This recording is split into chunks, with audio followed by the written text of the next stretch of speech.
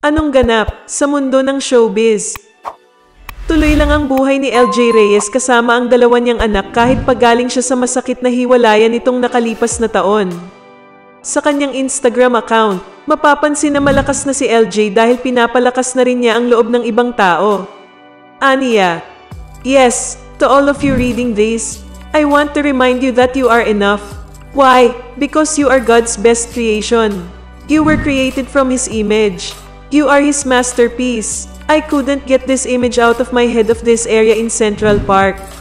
That just really had me in awe of God's creation. God created a beautiful world, a world that is an expression of His love for us. So, if sinris such as this take our breath away, how much more should you feel confident that you are beautiful? You are enough. Stay wonderful. Matatandaang nitong Setyembre taong 2021 ay inanunsyo ni LJ na hiwalay na sila ng dating partner na si Paolo Contis. Sila ay may isang anak na si Summer. May naunang anak na rin si LJ sa isa pa niyang nakarelasyon at ito ay si Aki. Sa ngayon, strong single mother muna ang aktres habang nasa Amerika. Anong masasabi mo sa balitang ito?